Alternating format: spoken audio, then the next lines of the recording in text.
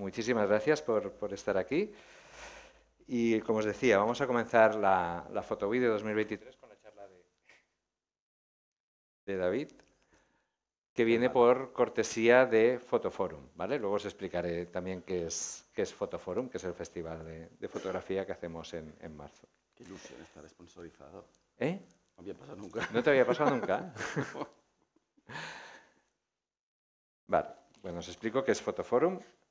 Fotoforum es un festival de fotografía que se hace en marzo en, la feria, ¿vale?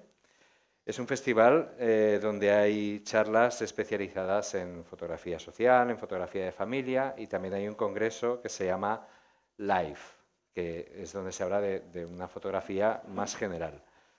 Este año el programa del Live, por ejemplo, están cerrando aún los programas, pero vaya, suelen venir fotógrafos, pues bueno, se ha venido pues, desde Martin Parr, o sea, fotógrafos muy, muy eminentes, ¿vale?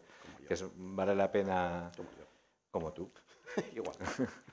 vale la pena ir a verlo y yo creo que realmente es un festival que, que coloca a, a, Barcelona como en el centro del, del, mapa fotográfico. Debe ser de lo más relevante que se está haciendo en, en, en Europa ahora mismo.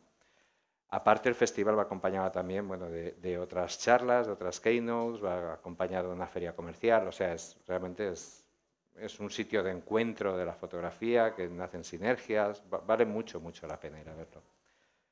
Entonces, bueno, aquí tenéis en la contraportada, en, o sea, al final del folleto tenéis eh, unas promociones especiales que se van a hacer para Black Friday, que podéis entrar por el QR, ¿vale? Y también al final de cada sesión de esta Photo Week haremos un sorteo y daremos una entrada general a una de las personas que está hoy aquí, pues se va a ir con una entrada del Fotoforum que está valorada pues en 249 euros, es la, la que es total. Y no le voy a robar más tiempo a David, que antes le he dicho que andamos un poco, pasa que es la primera charla. Bueno, David lleva 28 años eh, dedicado a esto. Esto duele ¿eh? cuando lo dice. ha trabajado en campañas publicitarias para General Óptica, Talica, Natural Optics, Antena 3, Telecinco, El Terrat. ¿vale? Ha ganado premios de, vamos, de los más prestigiosos que hay en fotografía profesional, como Luz de Oro, el Portrait Life Awards, el mejor, la mejor foto de familia en el Family Time, muchas menciones, o sea, mu muchos Fairless Awards, siete, mención honorable en el Documentary Awards, has expuesto en Valid, en Colectania, en, bueno, no sé, vaya, no... Creo que vamos a aprender mucho es con él. De tantos años, al final se va sumando. Pero... Bueno, yo llevo los mismos y no. eh, él nos va a hablar, eh, hubo como, como, un cambio de dinámica un poco de trabajar en estudio y luego salir a la calle a hacer sobre todo fotografía social y hacer producciones, eh, la calle era el estudio, y un poco lo que nos vas a plantear es volver al estudio, ¿no? como valor. Valor diferencial de, uh -huh. del trabajo de, de, David. Y entonces nada, pues te agradecemos mucho que estés aquí y agradecemos a Fotoforum habernos dado la oportunidad de, de disfrutar de esta charla. Muchas gracias a todos. Y cuando quieras. Gracias. Bueno, pues, eh, bueno, primero yo lo que quisiera decir es que yo no me dedico a, hacer, a, dar ponencias, lo cual no quiere decir que de vez en cuando no haga alguna charla, pero mm, porque yo creo que dar ponencias y dar charlas es, es, es, una profesión y yo soy fotógrafo, ¿vale? Yo, lo mío es el lenguaje de la imagen, no tanto el de la palabra. Pero, mm, pero bueno, como siempre hay alguien como el Carles Figuera, la que que como debe estar cansado de oírme ya se ha alargado. Ah, no, está bien, que me ha liado, básicamente. Entonces, um, primero, si queréis, os voy a pasar un slide muy cortito para ver un poco eh, todo el tipo de fotografía, el sector fotográfico al que me dedico, que es un abanico bastante amplio y que nos servirá para después entender um, eh, lo que os explicaré luego y tal, ¿vale? Entonces, os paso un slide muy cortito, ¿eh? No os voy a dar la paliza con, con mucha foto.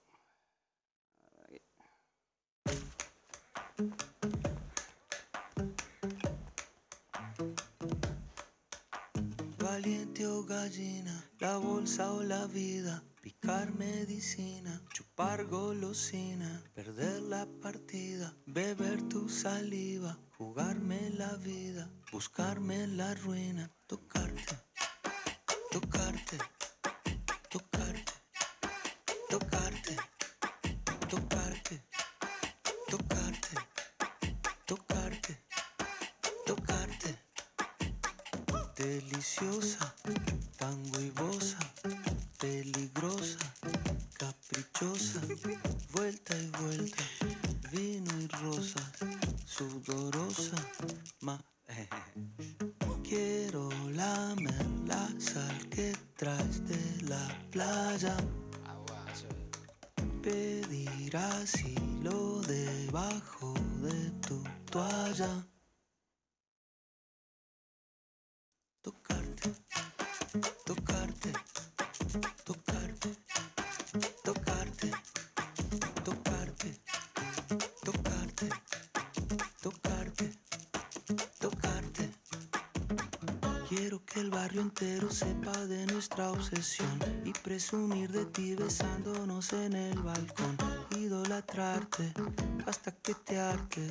Y entrar contigo en brazos en la suite del Sheraton. Quiero que el barrio entero sepa de nuestra obsesión y presumir de ti besándonos en el balcón. Idolatrarte hasta que te hartes y entrar contigo en brazos en la suite del Sheraton. Valiente o gallina, la bolsa o la vida, picar medicina, chupar golosina, perder la partida, beber tu saliva, jugarme la vida, buscarme la ruina, tocarte, tocarte, tocarte,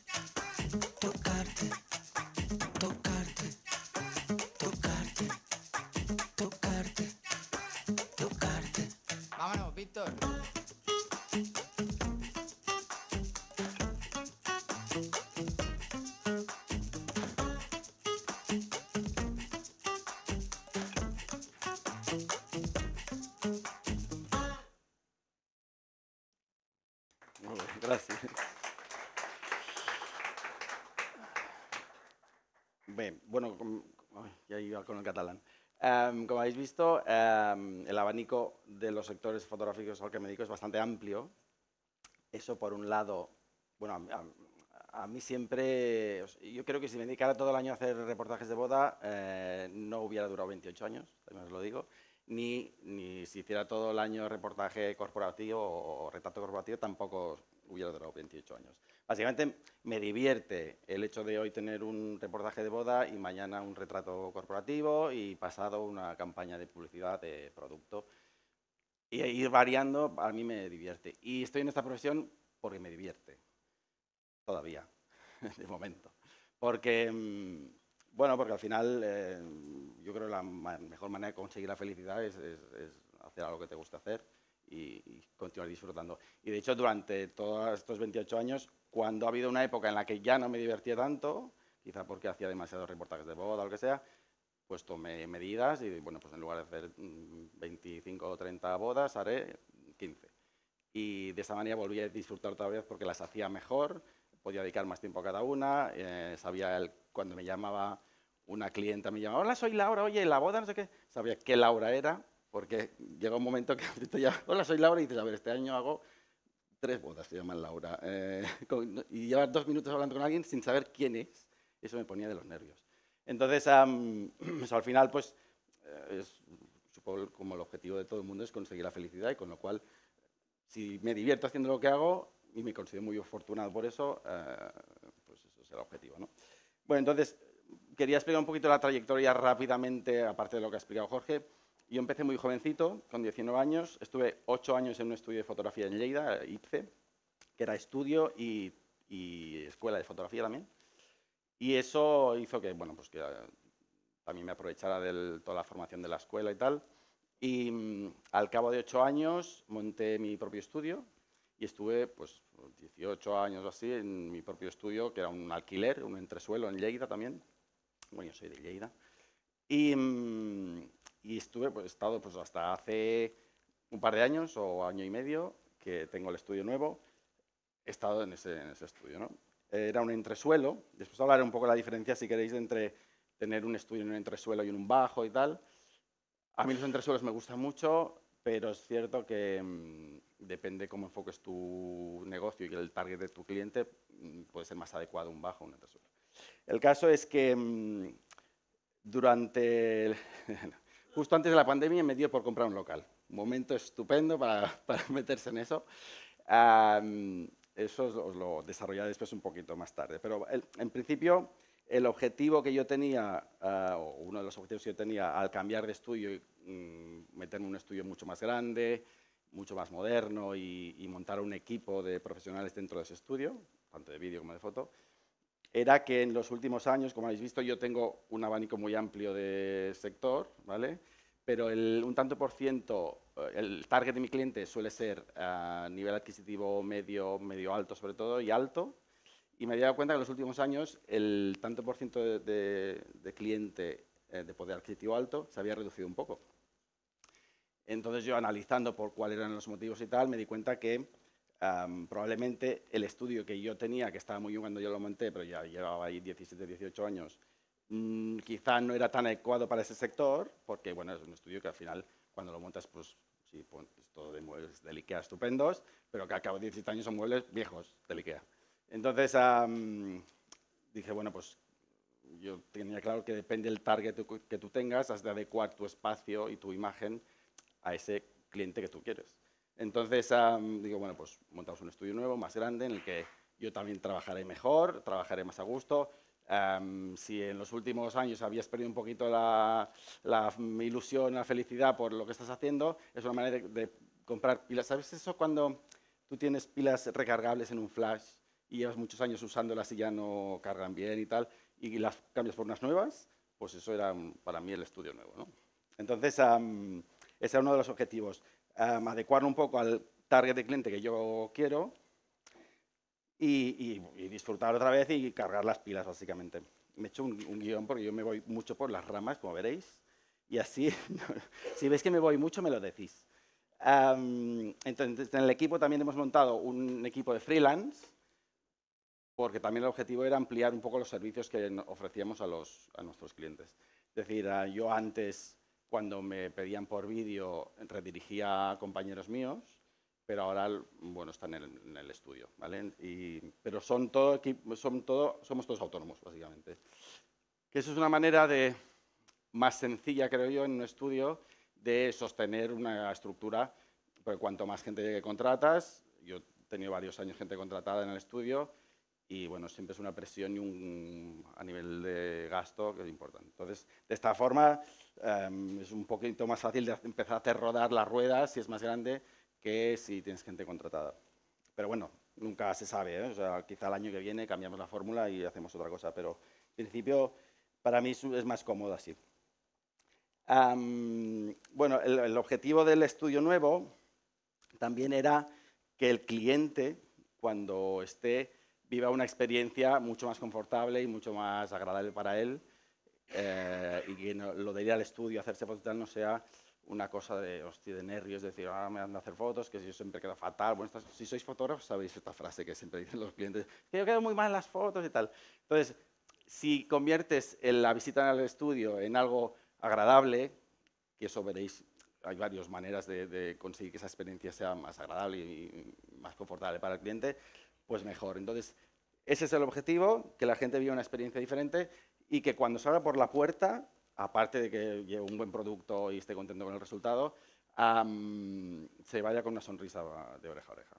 ¿vale? Entonces, que yo creo que es el secreto a veces de no solo que hagas un buen trabajo, sino que, mm, que puedes estar 28 años viviendo de eso, que ya sabéis que no es fácil vivir de la fotografía actualmente, y el, pero el boca a boca funciona bien y mal si no lo haces bien, y funciona muy rápido. Sobre todo en, en ciudades, también es cierto que hay que diferenciar entre ciudades como Barcelona, Madrid, ciudades grandes, ciudades medianas o pequeñas, como puede ser Lleida, que es la en la que yo normalmente estoy.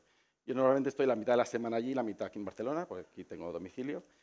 Y, mm, allí, ah, pues el, boca a boca funciona rápido, ¿vale? con todas las ciudades medianas y pequeñas, porque mm, para bien y para mal. Entonces, am, si, sa- si haces que tu cliente se vaya contento de tu estudio, probablemente te, aparte que repetirá, como veréis en algunas, mm, con lo que hablaré luego, van a ver sus amigos, ¿vale? Porque van a ver las fotos en las redes, porque te van a hablar bien de ti. Con lo cual, em, el boca a boca es algo que yo siempre miro de trabajar para que la gente esté contenta con el resultado que le entregas. Más cosas. Em, bueno, dejar de pagar el alquiler de mi estudio anterior también era un objetivo importante, porque 18 años pagando el alquiler mm, es algo que, que pesa. Es cierto que mm, depende del, del enfoque que tengas de estudio y de tus gastos de estructura, eh, pues eh, es más fácil. Es cierto también que hay mucha diferencia entre Barcelona y Lleida con el tema de los alquileres y de la compra de local, pero un- una, una fórmula que a mí me parece bien de Barcelona, por ejemplo, de estas ciudades, es el tema de compartir el estudio, ¿vale? que es algo mucho más relajado a nivel económico y que, y que funciona bien y, hay, que hay además un montón de, opciones en esta ciudad ¿no? para eso. Los coworkings y tal, que además tienen, suelen tener unos estudios muy interesantes, unos platos, vaya, para compartir. Em, bueno, os voy a explicar un poquito rápidamente lo que fue la adquisición del estudio, del local y la reforma posterior. Os hago un resumen rápido para no caer demasiado en dramas, porque lo que serán reformas es estupendo. Es un sector de la construcción muy guay.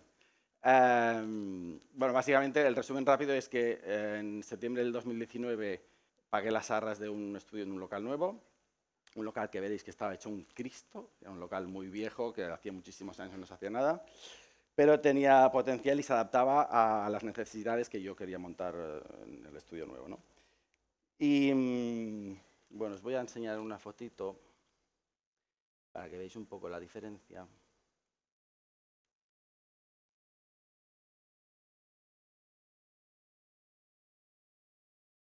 Lo, escribo para no decirlo de palabra, porque esto es lo que me venía cada día cuando me iba a la cama a dormir.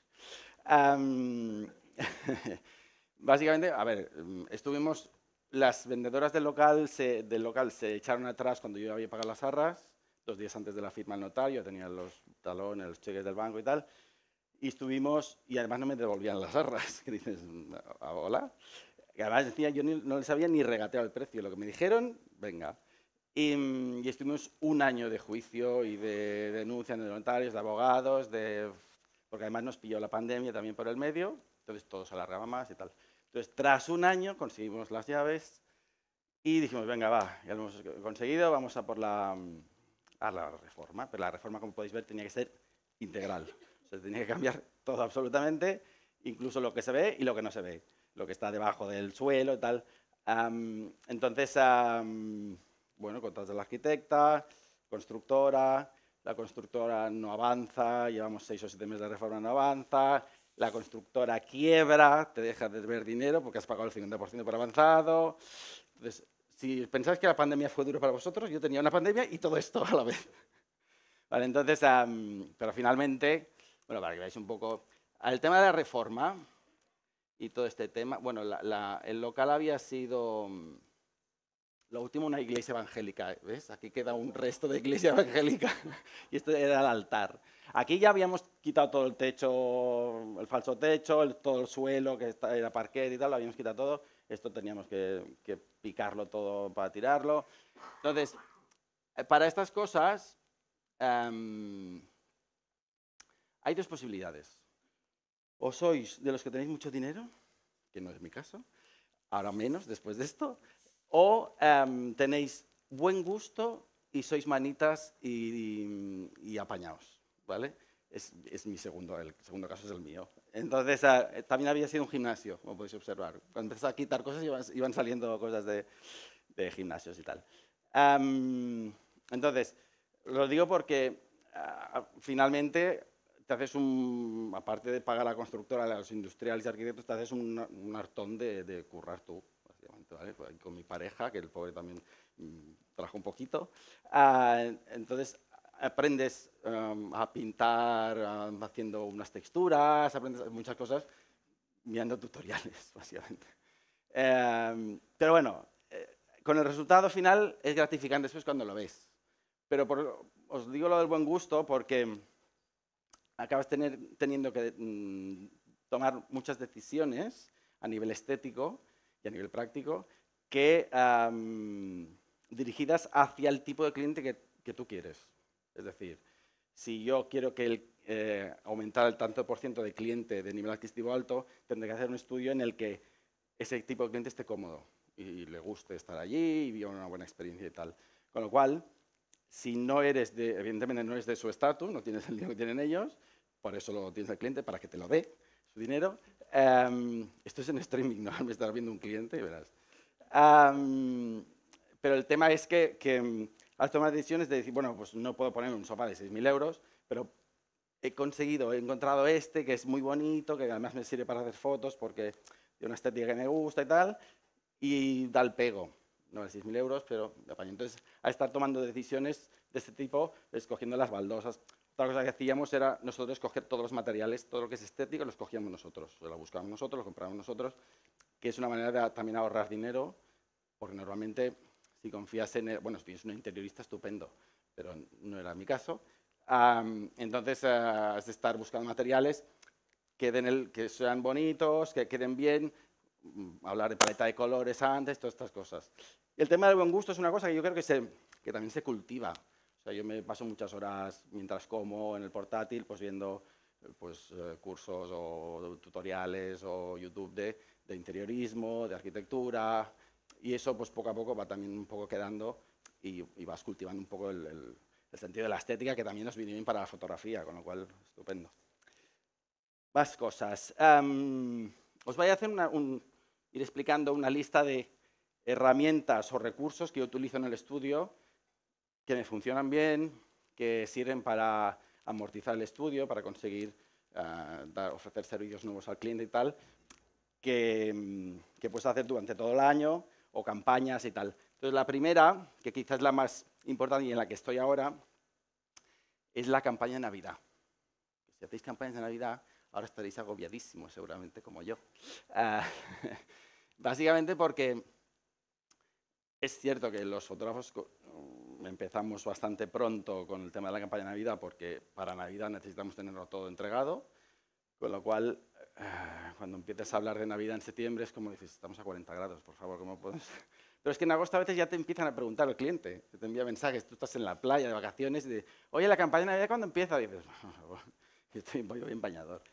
Pero, pero es cierto, pues hay gente que le gusta hacerla con tiempo y es cierto que hay, hay que tener una previsión de los tempos y tal en función de, también de las, del número de sesiones que tú generalmente sueles hacer o, o prevés que vas a hacer y tenerlo muy organizado porque si no después es un caos y siempre es correr. También es cierto que los fotógrafos somos la hostia con la campaña de Navidad. Es decir, parece que el que primero la saca es el, el mejor. Entonces nos empezamos a poner nerviosos entre nosotros ya en agosto o en septiembre a colgar stories cuando aún no saben ni qué vas a hacer para la campaña de Navidad, pero estás colgando ya para que el cliente ya vea. Entonces empezamos a ver en septiembre el resto de fotógrafos, los stories, que están empezando a colgar cosas, que están empezando a diseñar teóricamente, no sé qué, y dices, ya voy tarde otra vez, este año. Entonces nos empezamos a crear una ansiedad entre nosotros que es innecesaria, no hace falta, porque además resulta que empiezas en septiembre a hablar de Navidad y hasta noviembre no empiezas a hacer fotos, con lo cual no hace falta empezar tan pronto, a ver si nos relajamos un poquito. Entonces, ah, yo para la campaña de Navidad, uno de los objetivos también del, del, estudio, el tener un plato más grande, me permitía, en lugar de montar un decorado, montar dos. Complicarme el doble la vida, básicamente. Pero, pero está bien porque es un servicio en el que la gente le estás mostrando que puedes coger, pero en realidad el objetivo es que escoja los dos, porque entonces eh, puedes mmm, cobrarle un poquito más. Y, mmm, de hecho, cuando, cuando mientras montábamos el estudio, pensaba yo, en este plató voy a poder montar tres decorados de Navidad. Me vine arriba, después ya me relajé, y entonces desde el año pasado, que es, abrimos el año pasado, um, montamos dos decorados, funcionó muy bien, y este año hemos montado dos más. Pero para añadir un valor diferencial, lo que hemos hecho este año es invitar a dos artistas, que son profesionales de la decoración y tal, para que monten ellos el decorado.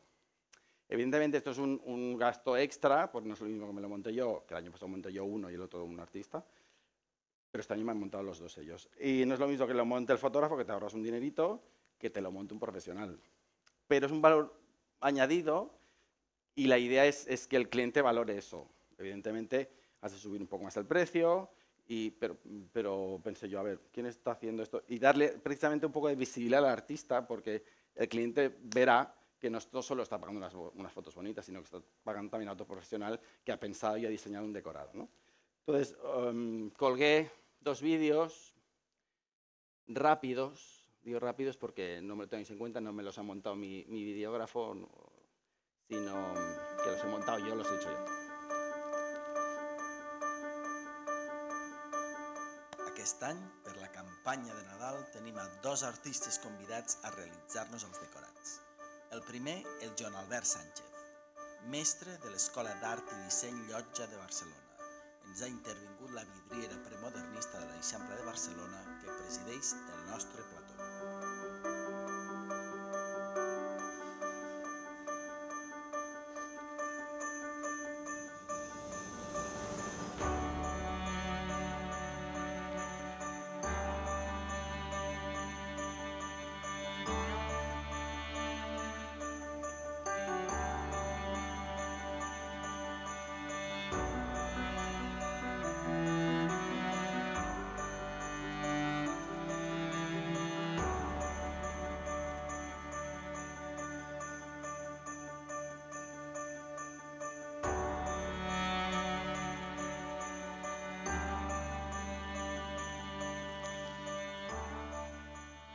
Esta era una, mm, es la cristalera, eh, por eso os comentaba antes lo del tema del buen gusto. Como habéis visto, en, el local que yo compré no tenía ningún tipo de personalidad, o sea, cero. Se tenía que hacer todo nuevo. Y, uno de los, de los objetos que buscamos para mm, ponerle esa, esa clase de, personalidad local, que era un rollo industrial, con elementos antiguos y tal, era esta cristalera, que es una cristalera que compramos aquí en, en el Eixample de un piso antiguo, que es una cristalera premodernista y que es un poquito el centro de atención del estudio, porque es, la cristalera que separa, después os enseñaré imágenes del estudio, ¿eh? que separa la, la sala de atender a la gente del plató. Porque este año, yo vi a Joan, eh, que en su casa el año anterior, con Stories, que se puso a dibujar en casa de su madre, eh, todo esto en los cristales para Navidad. Digo, oye, qué chulo esto que haces y tal.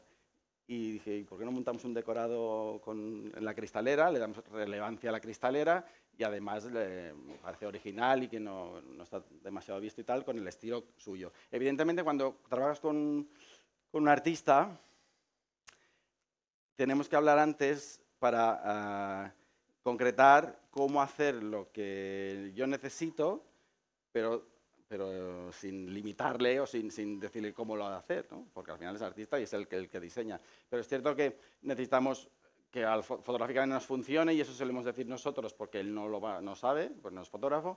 Entonces, dentro de la complicación, es que a mí me, me va mucho la marcha. Entonces, esto es un riesgo, este decorado, porque es cristal, con sus reflejos, con sus niños pegados al cristal y estas cosas. Entonces, bueno, me va, me va a costar hacer las fotos aquí, pero creo que podemos conseguir buenos resultados. Y, mm, y realmente estoy en ello, pero ya hemos hecho unas cuantas sesiones, estamos pues, hemos hecho una cuarta parte de las sesiones de más o menos de, que haremos este año.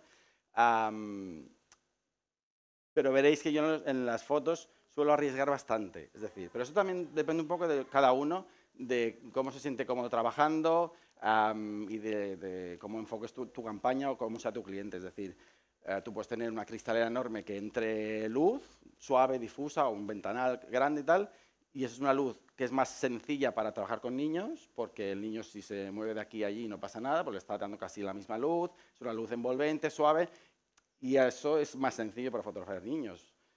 Pero a mí me va la marcha y, y de esto, pero yo soy de enfocar estas campañas con cuatro movimientos.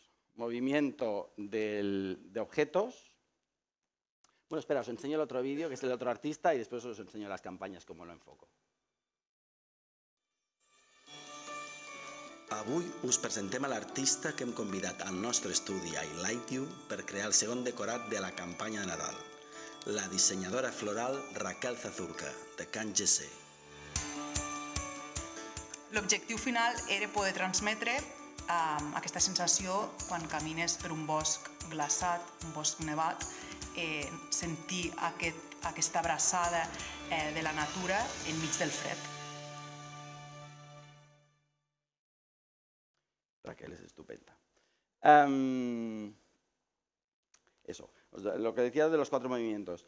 Am, yo lo que hago es mover objetos dentro del decorado para que me den juego para tener eh, fotos lo más diferentes posibles. Mis sesiones son de 30 minutos o de 45. 30 se hacen un decorado, 45 se hacen dos decorados.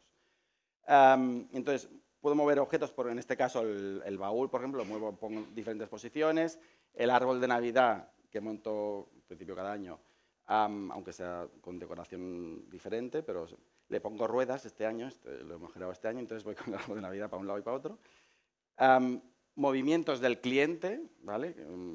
Cosas que veo que me pueden funcionar, aunque me gusta mucho improvisar, ¿eh? pero siempre hay una serie de fotos y digo, bueno, esta la he de hacer porque me funciona bien y tal. Am, muevo el cliente dentro del decorado. Am, mis propios movimientos, evidentemente, no solo cerrando y abriendo planos, sino am, que lo monto de manera que puedo disparar desde, desde delante. Enseño fotos será más fácil. Desde delante del decorado, o si paralelo al decorado, o, pues, bueno, en este caso, pues el- el-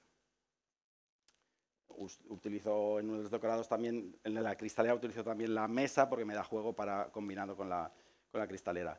Pero mm, puedo disparar desde un lateral, desde otro, entonces antes yo siempre hago una sesión piloto cada año, que normalmente pues eh, lío a alguien de confianza, que tenga unos críos que den juego, lo que sea, y, y esa sesión me, me va muy bien porque ves que funciona mejor, que no funciona tanto, que has de mejorar. Si la analizas un poquito al final de la sesión y dices, "Pues mira, la iluminación aquí la de mejorar, o desde aquí eh, es más complicado para el- crío, depende de qué edad, y todo eso. Entonces me viene bien para analizar un poco la, la- la campaña. Pero, mm, pero eso, entonces, el movimiento este de, de- desde delante, desde un lateral, tal. Y eso hace que tenga que mover, el cuarto movimiento, tenga que mover también la iluminación, muchas veces, ¿vale? Entonces, ah, ahí, ah, en este caso, por ejemplo, aquí está desde el frontal, pero a ver, aquí están desde el lateral, esta también está desde el lateral, de manera que la luz principal, que es una pantalla en este caso grande de 1,80, am, la voy desplazando con las ruedas. Después, suelo utilizar también muchas veces alguna luz motivada, lo del tema de los faros y tal me suele funcionar bien, porque puedes ponerla, por ejemplo, debajo de la mesa les da menos luz, con lo cual si pongo el farolillo le rellena un poquito con luz cálida. Veréis alguna, os una foto de la campaña del año pasado.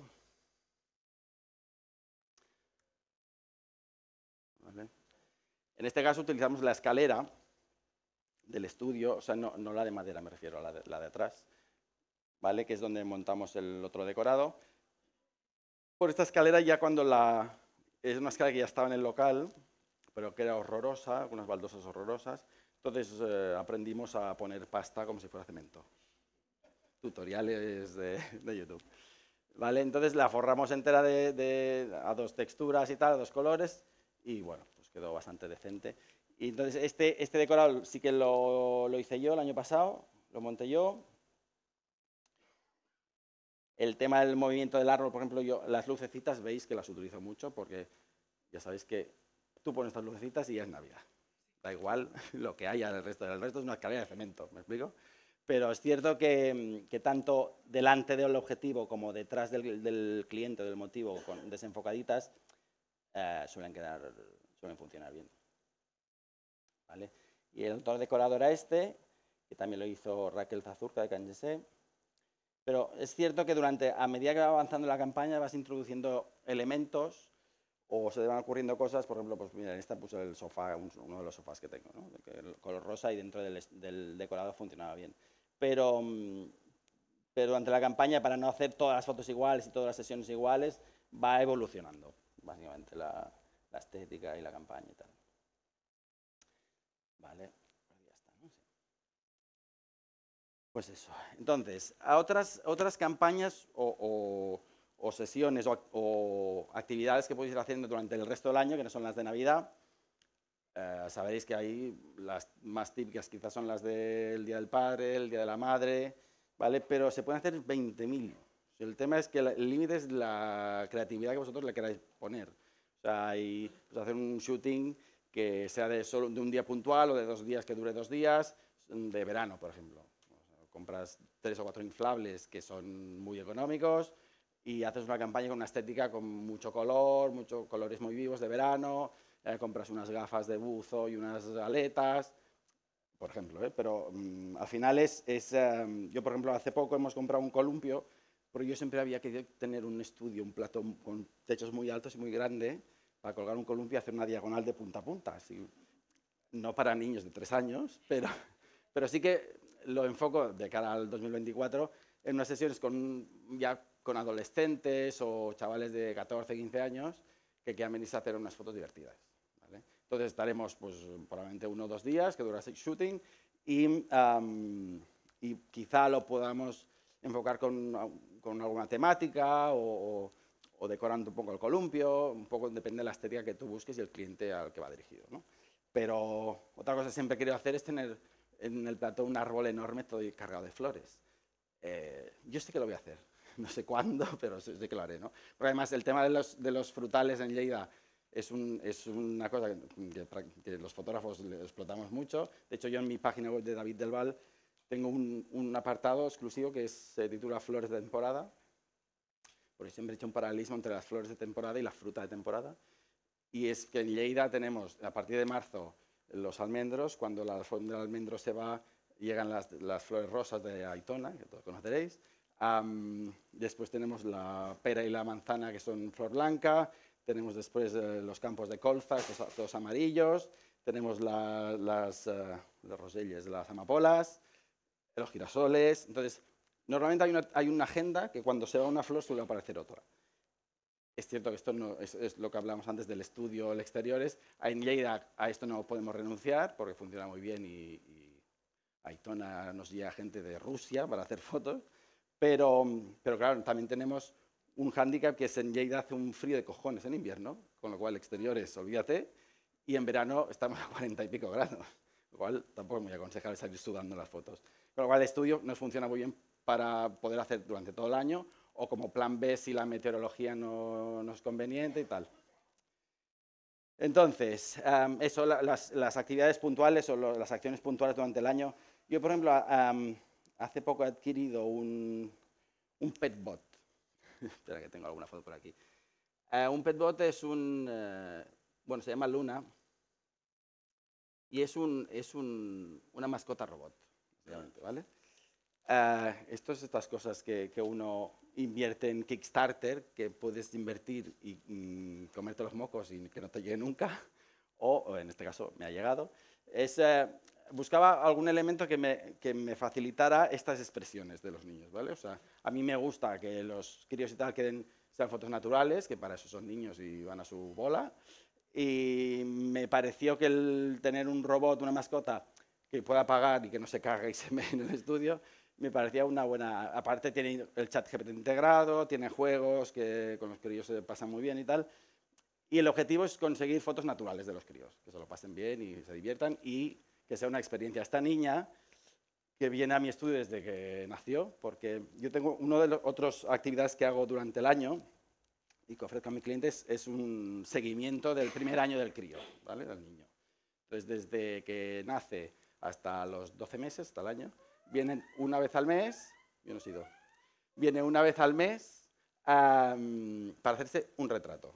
¿vale? Entonces, al cabo de 12 meses tenemos un, eh, yo le llamo el photo wall, tenemos 12 retratos diferentes y, y, bueno, os enseñar uno colgado en la pared del cliente, en la habitación de la niña.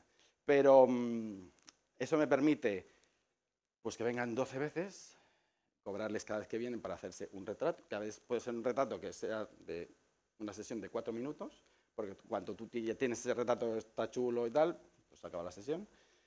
Y al cabo de los 12 meses, pues yo les monto en madera los 12 retratos, hago un montaje y hago una composición que después cuelgan en su casa.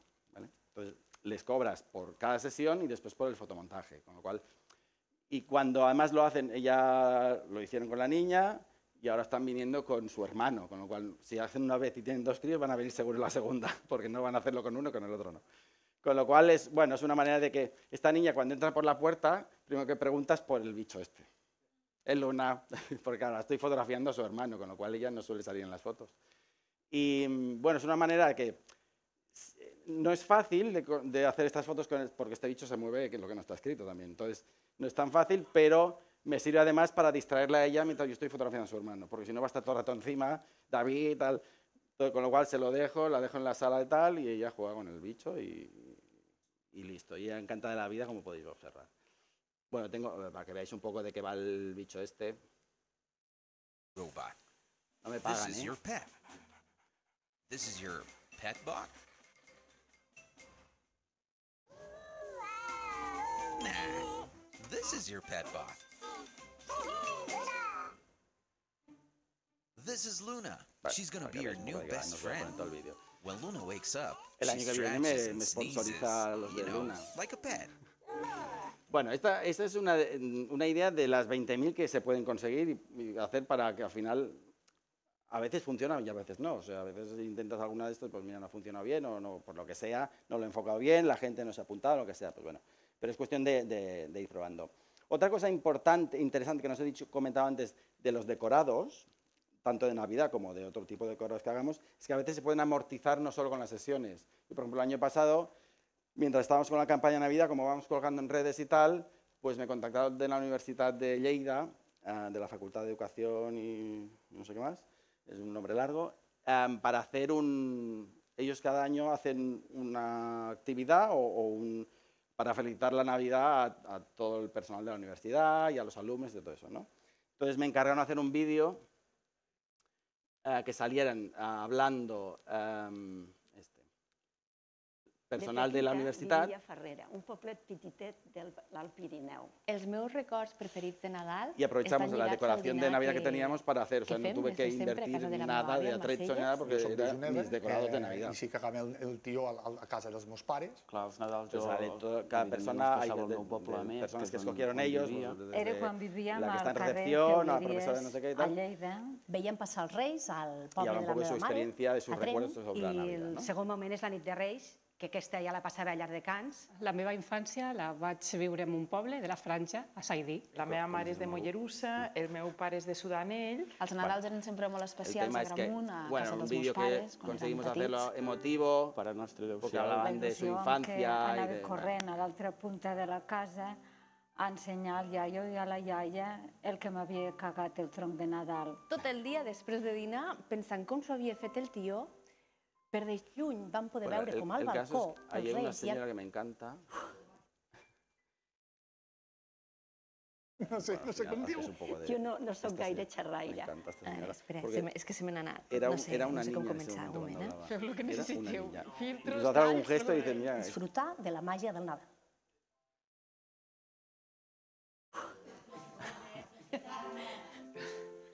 Vale. El caso es que es fácil que, que al final, pues, por ejemplo, yo la semana que viene tengo una sesión de book de una actriz y voy a utilizar un trozo del decorado de Navidad para en algún momento durante su sesión, ¿no? Sin las luces, sin árbol de Navidad y tal, para que no sea tan identificable, pero sí que tengo motivos vegetales, de colores y tal, que me vendrán bien de fondo y tal. Entonces, al final el tema es amortizar eh, la- tu inversión lo máximo posible. Am, bueno, hemos hablado de las campañas estas puntuales.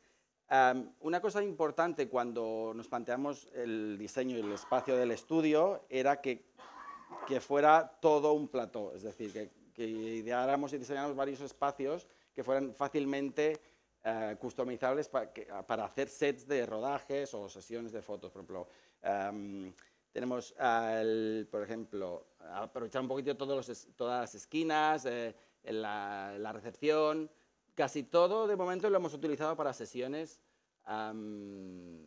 por ejemplo.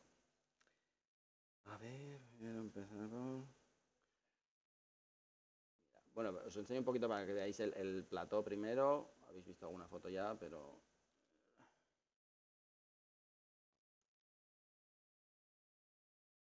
¿Vale? Normalmente yo tengo los fotos, los fondos de estudio esos colgados en esta pared, pero todo va con ruedas, de manera que am, podemos utilizar cualquiera de las paredes, cualquiera de las esquinas, los rincones para, moverlo todo y adaptarlo un poquito a cada sesión. A lo del gimnasio, ¿qué es del gimnasio? Esto, cuando yo compré el local, lo último había sido en una iglesia evangélica, como os he dicho, pero anteriormente había sido un gimnasio. Y este rótulo estaba en la fachada, no lo habían tocado desde el año 84. Eh, entonces cuando lo vi el rótulo, digo, este rótulo si lo pinto un poquito de negro porque era plateado y tal, me gustaría, le puse el sistema de iluminación porque no funcionaba y tal, y digo, lo pongo en el, en el plató, me parece estupendo como un punto de iluminación extra y, y conservar algo de lo que había sido el estudio anteriormente, que es una, de la iglesia no pude casi aprovechar nada porque estaba un drama, pero, pero del, del, gimnasio. Y de hecho hay una anécdota, cuando a mí me sobró mucho parquet uh, y lo puse en Wallapop, un montón de cajas, y vino un tío a quedárselas y cuando entró en el estudio dice, este local no tiene nada que ver con lo que era. ¿eh? Digo, ¿a que lo conocía ese local? Dice, yo aquí en el 84 monté un gimnasio. Digo, ¿en serio? Y dije, pues ve un momento al plato. Y cuando entra dice, ¡mi cartel! mi rótulo. Y el tío se hizo una foto en el rótulo, gracias por conservarlo, qué ilusión, no sé qué. Y le dije, por cierto, ¿te dejaste el acento en la A? Dice, no. Dice, es que yo cuando lo hice ponía gimnasio. Entonces la Generalitat sacó esa normativa de que tenía que ser en catalán, que después desapareció. Y el tío dice, yo lo cerré. cerré, quité la I O y, y se quedó así. Y dije, pues mira, yo lo he aprovechado. Pues, um, pues eso, veis un poquito desde arriba tal. También el hecho de tener un altillo y unas escaleras tal te permite a veces hacer planos más cenitales desde arriba, que eso también es una ventaja. El tema es, es, es adaptarlo un poco a, a, todas las necesidades y sacarlo el máximo rendimiento posible.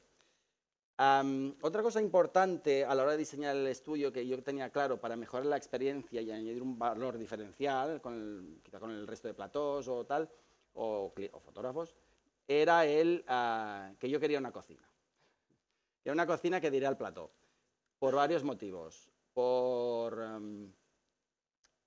porque yo en tres semanas como ahí, básicamente, y no iría hasta casa y aprovecho más el tiempo, pero sobre todo porque um, trabajo muchas veces con fotografía de producto, a veces viene algún chef, prepara el plato en la cocina y lo sacamos fuera para fotografiar el plato y tal, entonces me venía bien que estuviera, fuera muy cómodo para trabajar, por ejemplo, a veces trabajo para una marca de cerveza y de hecho recuerdo ese cliente esa marca de cerveza me, me cogió por primera vez durante las obras, yo aún no tenía el estudio preparado, pero le dije, el estudio que estoy haciendo va a tener una cocina en la que podemos preparar todos los bodegones, o todo el producto, las copas, la cerveza. Pues una sesión de cerveza termina todo hecho un Cristo de cerveza, de agua con glicerina para las gotitas, de todo. Entonces, prepararlo todo aquí y sacarlo afuera es muy cómodo, la verdad. Y sobre todo para eso, para tener... Y que después eh, lo que os comentaba de que la experiencia que vive el cliente sea una experiencia agradable, que recuerde la, el haber venido a hacerse fotos como, como algo que se lo pasó bien. Um, a veces depende del cliente, si vamos a estar un buen rato, a ver si es un cliente de una sesión de media hora no le voy a servir una cerveza. Pero, pero si es un cliente que vamos a estar una, un rodaje, vamos a estar toda la mañana o todo el día y tal, pues entra conmigo a la, cocina, nos le sirvo un café, una cerveza, en la nevera siempre hay vino blanco y vino negro, siempre, y, porque tengo muchos clientes también que son de, del sector de la analogía. Y, y, al final se convierte eso, pues una experiencia cómoda, que la gente se lo pasa bien, que es lo que busco básicamente. Después, bueno, tengo, sobre todo al lado de la cocina, tengo la, zona esta con el sofá, que es donde nos tomamos lo que nos tomemos. He de decir que el sofá también, no sé qué tiene, que la gente se siente y se tira ahí hasta las tantas. Hay que controlarlo esto un poquito. Los amigos ya les dije, bueno, hasta la una, ¿eh? A la una ya os vais para vuestra casa. Porque, mm, pero bueno, nos viene porque también es una manera de relajar al, cliente, o mientras alguien de la familia o del, de estos está haciendo fotos, puede estar ahí relajado uh, con su portátil, o hablando, o viendo lo que, lo que hacemos y tal. También me resulta que es un un servicio que está bien, que es fácil, que es, que es, eh, que es agradable para el cliente. Bueno, después evidentemente eh, tenemos el, el, lavabo adaptado, un cambiador para niños, que si fotografiáis niños sabéis que es necesario, y después otro lavabo con, más completo, con ducha tal, por si acaso. Y después tengo la zona de que yo atiendo al cliente normalmente, que la utilizamos también como sala de visionado. A diferencia de mi estudio anterior, eh, las, las adicionado. Tener una tele en condiciones grandes donde poder enseñarle en buenas condiciones al cliente el resultado final, he notado que hay diferencia como lo tenía yo antes. Antes lo veía en una pantalla de 27 pulgadas, el cliente del trabajo, y ahora lo veo en una pantalla más grande. Me, creo que, viendo la reacción, yo durante todo este año he estado analizando mucho las reacciones de los clientes, para ver lo que funciona y lo que no, lo que debe eh, mejorar y lo que no. Y la reacción del cliente viendo su trabajo en una pantalla más o menos grande con una musiquita que siempre pongo y tal, es mucho mejor que la de antes. Porque, de hecho, la primera vez que enseñé un, un preboda fue aquí. Los prebodas es difícil que el cliente termine llorando viendo las fotos. En una boda quizá más porque hay momentos más emotivos. Pero el chico se puso a llorar. Digo, "Uy, qué bien funciona esta tele. Qué, qué buena, qué buena inversión. Entonces, am, bueno, eso es una- algo que, creo que se tendría que hacer. Aparte, tiene un doble uso, porque nosotros a veces cuando hacemos alguna sesión de publicidad en el plató, que son muchos platós de alquiler grandes y tal, que se dedican a hacer mm, campañas grandes, lo suelen tener en una sala de visionado para el cliente. Porque a veces si es una sesión larga, está eh, nuestra parte, el profesional, está a veces la agencia de comunicación o de publicidad y está el cliente final. El cliente final, tenerlo ocho horas o cuatro horas, lo que sea, en el plató detrás tuyo, pues a veces es un coñazo, para él y para nosotros, porque a lo mejor está enredándote y no te deja acabar de hacer el trabajo, con lo cual muchas veces pues, se van a la sala de visionado y en esta pantalla pueden ir viendo lo que vamos disparando, ¿vale? Pues está conectado al, al portátil que vamos disparando mediante Tether Tools y, mm, y va viendo, en el caso de que vea algo que no le gusta o que tal, pues que ya nos lo diga. Pero es una manera de que él pueda estar aquí relajado, a veces le pones el sofá delante en lugar de la silla y tal, y van trabajando, van haciendo sus cosas en esta sala y no están en medio del platón y estas cosas, ¿no? Que eso para eso va bien. Bueno, esto es donde atiendo. Aquí se ve que es, am, que es que está a pie de calle. Yo antes tenía un entresuelo. Claro, mi situación, mi estructura, mi manera de trabajar es que yo la mitad de la semana estoy aquí, cierro el estudio y me voy. Tener una planta baja implica muchas veces que has de tener un horario fijo. La gente siempre me pregunta, ¿qué horario haces para venir? Y yo siempre trabajo por cita previa, es decir, no tengo cliente de calle que pase por allí y entre a preguntar. Y, no lo quiero tener. Es decir, cuando pasa alguien y entra a preguntar, suele ser para foto de carne, que no hago. O, mira, es que me quiere hacer una foto. Y pues tampoco hago, hago sesiones y tal, pero siempre trabajo con cita previa. Es- y entonces, yo an- antes estaba en un entresuelo, es cierto que los entresuelos son como más discretos en el sentido, no te sube tanta gente a preguntar cosas que tus servicios que tú no haces. Y cuando me voy para Barcelona, cierro, me voy, y se queda cerrado y andando. En planta baja eso no es tan discreto, con lo cual, pues bueno, siempre acabas teniendo a alguien que te viene al peor momento a preguntarte algo. Pero, bueno, casos que yo buscaba un entresuelo cuando estuve buscando locales, pero no encontraba ninguno con techos altos. Es el hándicap de los entresuelos, que, que es, es difícil encontrar uno con techos altos. Y para el plató los techos altos funcionan muy bien, la verdad, porque puedes poner luces cenitales y tal, un columpio enorme. Ah, y al final me decanté por este local, que además estaba en la misma calle donde yo tenía mi estudio anterior, a 25 metros. Yo creo que fue el primero que, que preguntó por, cuando pusieron carteles, el mismo día lo vi. Porque encima yo mi parking está pegado a esta, a esta pared, con lo cual me va súper bien. Además es un parking de ascensor, de coche de ascensor, con lo cual cuando voy cargado con todo el equipo que me lo llevo por ahí, me meto en el ascensor, bajo y al coche. Me, va súper bien, súper cómodo y súper rápido. Vale, aquí se- puse una mesa larga porque en un lado es donde trabajo, donde ve- vemos las fotos en pantalla y tal, y en la otra es donde yo suelo atender a la gente. Tengo una esquinita así con material, esa es una manera de- las campañas de Navidad, por ejemplo, cuando tú pones los precios de un decorado, de los decorados y tal, y que les entran tantas fotos, después pueden hacer, pedir fotos extras y la adiciona tanto la foto extra, ¿no? Pero, pero también una manera de amortizar la campaña y ganar un poquito más dinero es que se lleven productos de este tipo para regalar para Navidad. Con lo cual los tengo todos expuestos y les envío un PDF con todo el material, precios, tamaños y todas estas cosas. Un poquito de un rinconcito donde la gente se espera cuando, cuando estoy haciendo una la sesión anterior de la campaña de Navidad, que los niños se han subido por la escalera y no hay manera de fotografiar y se ha atrasado todo, pues el cliente siguiente es- espera en este rinconcito de aquí. ¿Vale? Más cosas. Ah, bueno, una, otra, otra manera que tenemos de amortizar también el estudio, el espacio, es alquilándolo, ¿vale? Que eso aquí en Barcelona es muy habitual también. Am, alquilarlo para rodajes, ah, para otras productoras, am, para sesiones de fotos también, y, mm, y también para eventos. Pero ahí yo pongo ciertos límites. Es decir, no, mi estudio no, no está pensado para alquilarlo para fiestas, que me, me lo piden a menudo. Es que cumplo 40 años y quiero alquilar un espacio y me gusta mucho el tuyo y tal. Yo de momento ahí puse el límite. O sea, de momento solo alquilamos para cosas, actividades de nuestro sector, es decir, eh, em, pues eso, rodajes, sesiones y tal. Y también lo hemos abierto a alquilar el espacio para actividades que no son de nuestro sector, pero sí que alimentan a nuestro sector. Es decir, ah, pues hace poco hicieron una reunión de un grupo de empresarias ¿vale? de Lleida, que son empresarias de empresas potentes de Lleida y tal, y hacen actividades casi cada mes, alquilando un espacio y ah, trayendo, por ejemplo, en este caso, trajeron una coach de Tarragona y estuvieron, están pues horita y media, dos horas hablando con la coach y tal, y hacen sus actividades. ¿Qué pasa? Que ese, eh, todas esas eh, personas son clientes potenciales míos.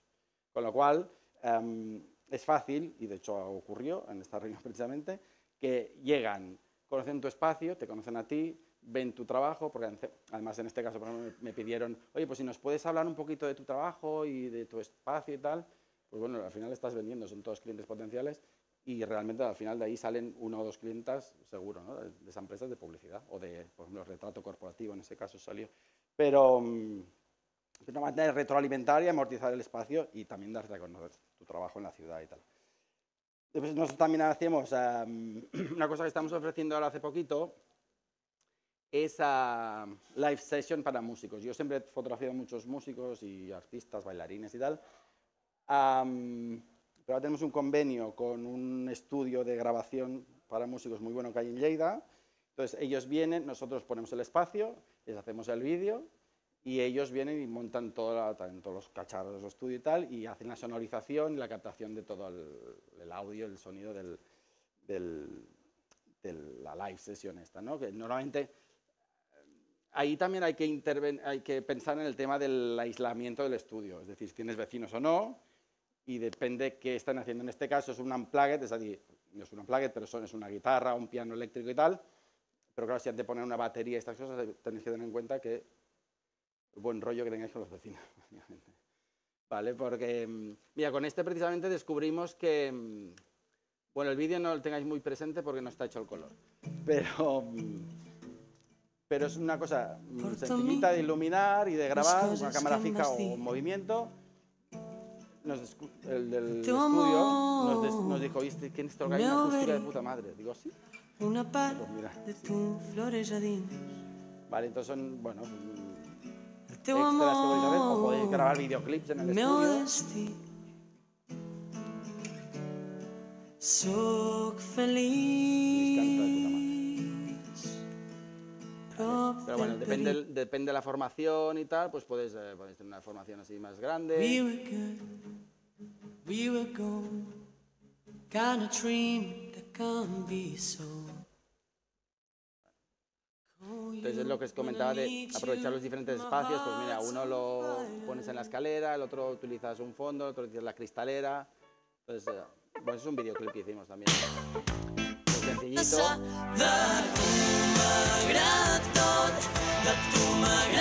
Tot, de tener, tener un techo alto te permite, esto está hecho con un foco colgado con una cuerda del techo, dando vueltas. Y tenemos a Joaquín tirando. Y em, en, en- en techos más bajos es más difícil hacerlo. Entonces, al final el espacio, es lo que os comentaba, te permite hacer cosas que no- en el otro espacio no podéis hacer, que siempre habías querido hacer y, y te permite pues, hacer eso. ¿no? No sé cómo voy de tiempo, yo voy aquí de cháchara. Uh, bueno, podéis hacer preguntas, ¿eh? Vale. Bueno, a ver, yo, yo más o menos casi lo tengo, ¿eh? Ah, yo creo que lo he enseñado un poquito todo. Bueno, mira, esto me pasó, me ha pasado hace dos semanas. La diferencia entre eh, trabajar siempre en exteriores y no tener, o trabajar desde mi casa y no tener estudio, hace dos semanas, eh, mm, con un ejemplo claro, vino una clienta, una posible clienta en ese caso, en ese momento, eh, que necesitaba hacer retrato creativo, o sea, perdón, retrato corporativo. Eh, una profesional, una freelance, autónoma, que ahora se montaba por su cuenta después de muchos años trabajar en su empresa, o sea, en la empresa que la, que la contrataba. Y ah, necesitaba pues, hacerse retrato creativo, pero aún no tenía su propia oficina, estaba en ello, pero esas fotos de retrato corporativo las quería hacer en un entorno que fuera una oficina. Ella Además, esta chica se dedicaba a, para mí fue un éxito que me contratara porque se dedicaba a, am, se dedica a hacer am, selección de personal para empresas que la contratan. Necesitamos montar un directivo para tal de esto. Entonces ya la contratan y ya se tira un mes entrevistando gente, buscando currículums y para, hablando gente para conseguir a esa persona. ¿no? Entonces, claro, yo sabía en, en la reunión que teníamos en mi estudio iba a estar analizándome todo el rato, porque se dedica a eso básicamente. Y digo, estar analizando cómo mueve las manos, el de... y está a tope. Y, mm, y además durante la reunión me acuerdo que me, me explicó, bueno, a ver, te seré sincera, yo he visto a más fotógrafos, ¿vale? Eh, en ese momento no me dijo cuáles, ¿eh? pero al final se los saqué. Eh, bueno, el tema es que mm, mira, me habló de un caso concreto, y es, que he visto otro fotógrafo y tal, que, me- que ya me había hecho fotos hace dos o tres años, que además las fotos me las enseñó y me gustaron mucho y tal, se lo hizo muy bien y además es muy buen tío. Ese fotógrafo tenía todos los números para que lo volviera a contratar, porque eh, o sea, le gustaban las fotos, era buen tío, le, cayó bien, eh, tuvo buen rollo con él. Yo pensé, después de la entrevista, esta no me contrata, voy a contratar a otro fotógrafo, porque yo no conozco de nada, pues me contrató a mí. Después, haciendo la sesión y tal, y con, Yo durante la sesión suelo hablar mucho, no solo aquí, durante la también hablo mucho para que la gente se relaje y estas cosas. Y, mm, y me acabó diciendo, vale, te he cogido porque, no solo porque pensaba que, que lo harías muy bien, sino también porque yo tenía que recrear una- un estudio, perdón, una oficina, y el otro fotógrafo le se lo comenté, digo, es que yo aún no tengo la oficina, pero necesito que las fotos se vean en una oficina. Claro, otro fotógrafo le comentó, "Ah, no hay problema, y buscaremos un espacio y ya está. Pero claro, ¿qué pasa? Ya tienes que mm, conocer a alguien que te haga el favor de dejarse, dejarte tu oficina. O que la busque el fotógrafo, no sé exactamente cómo lo, hablaron. Pero una persona que no está habituada a que le hagan fotos, que en este caso, por ejemplo, ella estaba muy nerviosa y tal por las fotos, que encima te están haciendo fotos con los focos, el fotógrafo y tal, en una oficina que no es la tuya, que eh, igual hay gente trabajando allí, que está pasando por ahí, está viendo la cara que hacen las fotos, no se va a crear un ambiente que ya esté cómoda, o sea, es imposible. Y el hecho de tener el estudio y que sea customizable, es decir, yo le comenté, no, pues mira, podemos utilizar esta mesa, podemos utilizar este fondo, yo tengo todos elementos de atrecho que los movemos, la planta que ya ponemos aquí, eh, ponemos un portátil encima de la mesa y tal, y después en el plató tengo otro rincón donde también podemos adaptarlo a, crear un set que parezca una oficina. Fue la diferencia, o sea, si no hubiera tenido estudio es posible que no me hubiera contratado, ¿vale? Entonces, por un lado está claro que, que para nosotros es cómodo trabajar en espacios que no sean pues, en exteriores o tal, pero por otro lado se nos van a escapar clientes porque necesitamos un estudio, básicamente. Ah, bueno, podemos pasar a las preguntas, ¿eh? No sé si, si habrá, porque yo me enrollo mucho, pero mm, una, dudas. ¿Tenéis muchos, tenéis estudio ya muchos aquí? Bueno, también está bien. Dime.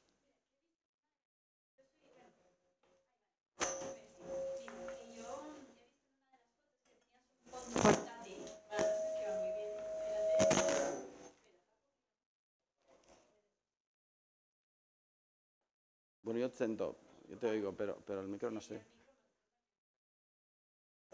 Vale.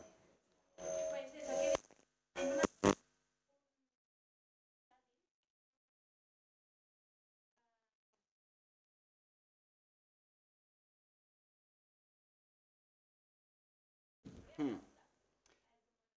Sí. A ver, eh, yo de toda la vida siempre he tenido eh, los, los fondos de papel enrollables, que los tengo en este lado de aquí.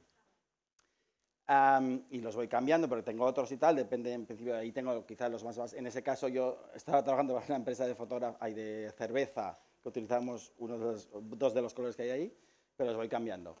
Es cierto que eh, yo suelo relacionar más los fondos, depende del estilo de cada fotógrafo. Y evidente en publicidad es el estilo que te marque o la agencia o, o la imagen del cliente, está claro.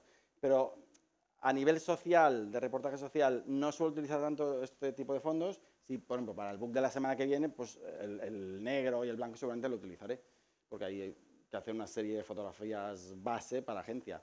Pero mm, me divierte más y me gusta más la estética trabajando con fondos de tela. Yo ahora he comenzado también a, a- a pintar fondos de estos de, de lona, de estos de, de algodón, que es un Cristo, pero, pero tengo varios fondos de tela como el que has visto, que lo monto. Y la ventaja es que este lo puedo montar donde quiera, lo monto con la barra y los dos trípodes, y en el caso de que has visto del músico, está colgado en este lado aquí, pero yo puedo tener... Ah, otra cosa que nos he comentado que es interesante, es que el hecho de tener un plato un poquito más grande, aparte de poder montar dos decorados de Navidad, es que tengo otro espacio que puedo continuar durante ese mes y pico que dura la campaña de Navidad, puedo continuar haciendo otro tipo de sesiones. En mi estudio anterior, que montaba un decorado de Navidad y no cabía nada más, me estaba un mes y pico que a todo el mundo que me pedía otra cosa le decía que no se la podía hacer en el estudio. Y el hecho de tener allí ahora el decorado de Navidad y otro aquí, significa que este espacio, esta pared de aquí la tengo libre. Quito las cosas con ruedas y monto ahí una tela o, lo utilizo este fondo, por ejemplo, este fondo de aquí, lo que os comentaba de, de los vídeos y de, y de los rincones, montar un set en, un, en los rincones, esa pared que os he enseñado, y esto es la mesa aquella con ruedas, un poquito de estos antiguos, un par de plantas, y iluminarlo bien. Pero, mm, pero el hecho de que todos los rincones puedas convertirlos en un set, tanto con una tela como con el fondo de pared, que ya el fondo de pared ya lo rascamos, así el ladrillo para quedar a visto, pues nos gusta el rollo de industrial, ¿sabes? Pero a veces sacas rincones del, del estudio, creo que aquí hay uno que se ve la cocina, He creado el Eh, método Acompañarte, en donde en solo fondo, cuatro vale, meses no que es una cocina, pero bueno, igual. piano tus canciones sin lo que os comentaba, de poder aprovechar cualquier rincón de, que tengas del estudio, incluso pues, la recepción de la oficina, lo que sea. Pero vamos, que trabajo mucho con... A mí me gusta más la estética con las telas que con los fondos de colores. Pero hay veces que la sesión ha de ser con fondos de colores. está claro. Muy bien. ¿Una pregunta más?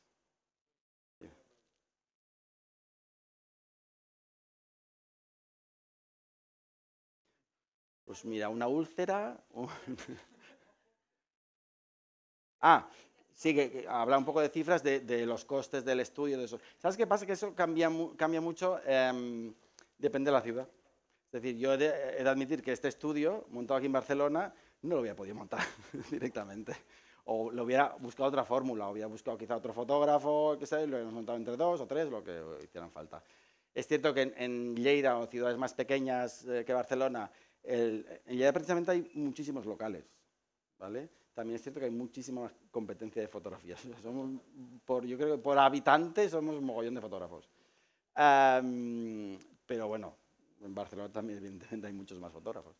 Con lo cual, am, bueno, es que esto te puedo decir números, pero, pero es que si lo montas aquí te va a costar a lo mejor el doble. ¿Me explico? Entonces, en este caso, eh, al final prescindí de un entresuelo y tal, porque era una planta baja, pero el precio del local estaba muy bien, a priori, porque después salieron tanta mierda que al final el coste... pero al final, claro, a veces cuando compras un local no sabes si vas a tener que bajar, mm, cambiar todas las bajantes del edificio y todo lo que hay, has de picar el suelo para cambiar todos los tubos porque están trinchados, esto no lo sabes.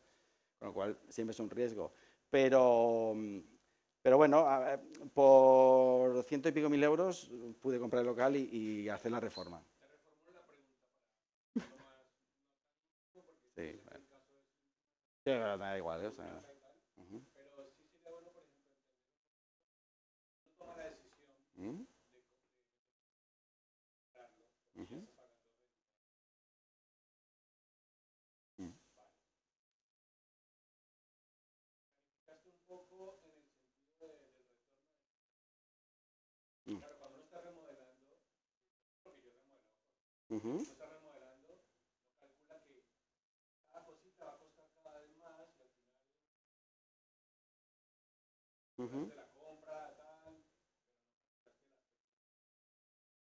Ujú. Ujú.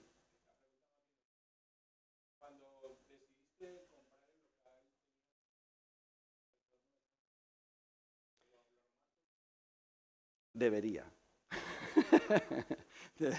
No, es cierto. Yo no me he considerado nunca un buen economista ni empresario, ¿eh? también es cierto. Quizá porque me considero mejor fotógrafo que, que el otro, pero es cierto que a la práctica hemos de ser empresarios, porque al final somos autónomos y hemos de hacer números. Y sí que es cierto que haces unos números base en función. Pasa que cuando llevas, es cierto, cuando llevas muchos años, quizá no eres un buen economista, pero la experiencia te ha ido, mm, el ojímetro, te funciona mejor, porque tienes un, miras hacia atrás y miras, pues aquello me gasté tanto y no lo amorticé tan rápido, no sé qué. Entonces, sí que evidentemente has de hacer números para ver si puedes asumir esto y más o menos en cuánto tiempo. También es cierto que si tú tienes un dinero ahorrado en el banco, que no te está dando absolutamente nada, am, dices, oye, pues mira, para que lo tenga en el banco, prefiero invertirlo en esto y, bueno, me quedaré pelado, pero es cierto que aunque llevo muchos años, tengo una cartera de clientes más o menos estable.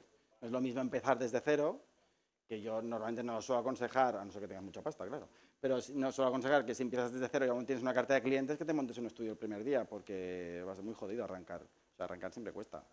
Entonces es mejor quizá buscar otras fórmulas de hacerlo con más gente o buscar coworkings o tal para empezar. Pero yo esto lo hice después de 18 años tener otro estudio, sabiendo que de un día para otro no me iba a quedar sin trabajo. Bueno, puede venir una pandemia y, y quedar sin trabajo, efectivamente. Pero eso lo sé ahora. Am, pero es cierto que eh, siempre has tener un poquito una red de seguridad, sabiendo que más o menos puedes tener un año mejor o peor, pero bueno, yo realmente, por ejemplo, desde que monté el estudio, mi objetivo del estudio también, eso no lo he explicado, también era em, que yo tengo 47 años. Llevo 28 años haciendo bodas, pero nadie me va a contratar, o casi nadie me va a contratar con 60 y pico años para hacer una boda. Entonces, al final el objetivo del estudio también es ir redireccionando, pensando en el futuro, mi carrera profesional, porque va a ser más fácil que yo continúe haciendo sesiones en estudio, publicidad y tal, que estar invirtiendo demasiado para hacer bodas dentro de 15 años. Entonces, por eso os digo que, es, un poco pensar también no solo en ahora, sino pensar en el futuro, hacia dónde queréis tirar, qué tipo de cliente queréis, qué creéis que va a ser vuestra, vuestro futuro en el mundo de la fotografía, para enfocarlo de una manera o de otra. O sea que sí, hay que hacer números. Dime.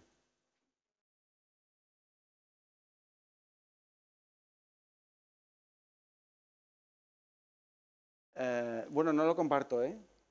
Ah, no, me refieres al equipo, sí, vale, vale. No, no, en este caso el, estudio lo he montado yo y yo mm, formé, eh, o sea, formé, busqué un equipo de profesionales que ya conocía y con los que ya había trabajado y sencillamente yo ahora me dedico, aparte de hacer mi fotografía, a vender el producto de vídeo también a mi cliente. Es decir, el cliente que quizá ya tengo de fotografía desde hace años, le ofrezco el servicio de am, también hacer el vídeo corporativo y tal. Entonces, los, los freelance me, cobran a mí, pasan factura a mí del trabajo que yo les he encargado y yo le paso factura, mi factura al cliente. Evidentemente, siempre yo estoy haciendo un trabajo que es buscando cliente para ese vídeo y estoy ofreciendo mi estructura, con lo cual en la factura que yo le paso al cliente le pone una comisión por mi tiempo y mi trabajo. Porque yo lo que hago al final es dirigir, aunque yo soy fotógrafo, pero yo dirijo ese proyecto, con lo cual yo estoy entre medio del cliente y, y mi- mis videógrafos o el piloto de dron, ¿vale? Entonces eh, yo soy el que lo dirijo, el que está pendiente de todo, el que habla con el cliente y tal, y ellos sencillamente hacen lo que yo les encargo. Entonces ellos son freelance, pagan sus autónomos, yo pago los míos, y ellos me facturan a mí yo facturo al cliente. De momento es la fórmula que estamos utilizando ahora. Veremos si más adelante el volumen de trabajo de vídeo pues, aumenta mucho o adquirimos, que el objetivo también es adquirir un nivel de publicitario un poquito más alto. Puedes eh, cambiar la fórmula y que se incorporen al estudio y, y- y llegar a un acuerdo, que es que hay muchas fórmulas diferentes, pero llegar a un acuerdo de que ellos, ellos también les ofrezco la posibilidad de que eh, si un día necesitan el estudio para un cliente suyo también lo puedan tener. Pues, al final, como nos conocemos y somos amigos hace tiempo, tenemos buen rollo y que nos podemos beneficiar al máximo de mi estructura. Y al final siempre, yo qué sé, a veces llegas a acuerdos porque, eh, pues igual, yo que sé, estoy haciendo el vídeo ese que, que lo hice yo, pero el vídeo ese de Navidad y tal, le puedo decir a alguien, oye, vente mañana y grábame cuatro planos y tal. Se lo podía haber pedido. En este caso lo hice yo, pero lo podía haber pedido y pero sabe que otro día si él necesita el estudio se lo va a tener y ya está. Al final es que sobre todo que haya buen rollo, porque eso a veces el cliente te lo dice, hostia, pues mira, hemos hecho la campaña y tal, y nos encanta el rollo que tenéis entre vosotros durante la sesión, hace que nosotros estemos más relajados, más contentos y tal. O sea, que no sea aquello que, el cliente no vea que hay tensión, que, nos, que no hay bu- buena comunicación entre nosotros y tal. Todo lo contrario. Qué bien. ¿No hay más preguntas? Qué bien me he explicado, ¿no? Bé.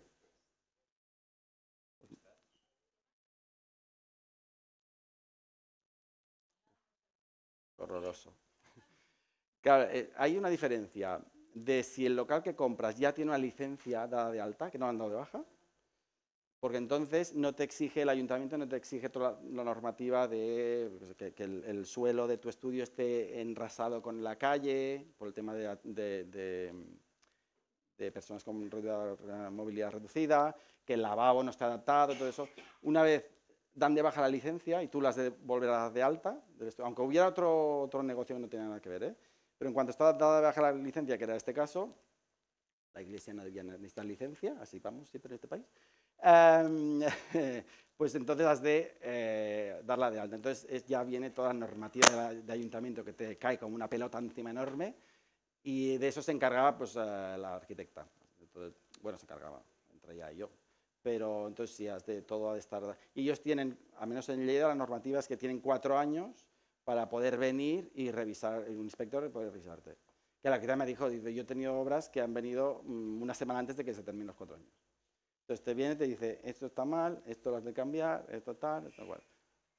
Yo llevo año y medio y parece que de momento no no han aparecido. A ver, no, no, lo hemos hecho todo según la normativa, porque al final dices, bueno, yo qué sé, pero es que la normativa además es- es es súper estricta, o sea, el, el lavado de movilidad reducida, el espejo al suelo a tener una medida, de la, de la madera de la pica al suelo a tener una medida exacta, de la pica al suelo a tener otra medida exacta. Esto es complicadísimo. Y en este caso, como lo tirábamos todas las paredes, lo tiramos todo, pues pudimos adaptarlo, pero, pero bueno, no es lo de la normativa. Y de- bien es cierto que todos los ayuntamientos no funcionan igual. Tengo entendido, por lo que me explicaba la arquitecta, que ya son bastante estrictos en ese sentido.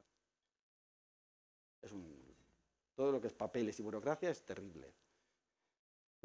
¿No era, era, era motivacional esta charla? o- No, no, yo, a ver, yo, estoy diciendo que ahora mismo soy muy feliz en mi estudio, ¿eh? Pero me ha costado eso, dos añitos y pico, de sufrirlo un poquito. Pero vale la pena. Muy bien, pues ¿Vamos? muchísimas A gracias. vosotros por venir. Súper interesante. Te pido un último favor, si me puedes dar un número del 1 al 30 y podré sortear las, Ah. las entradas. Uh, qué bien. Pues el 25, Navidad. El 25. Venga, pues, Ya que estamos con la campaña. por aquí. Pues va a ser Marcos Serrate, que estás aquí. Me debes una Pues mira, ¿eh? enhorabuena. Una cervecita me debes, ¿eh? Pues aquí tienes tu entrada y ya los compañeros de comunicación ya se pondrán en contacto contigo, pero bueno, de momento tienes el... Pues nada, muchísimas gracias, de verdad. A David. vosotros por invitarme.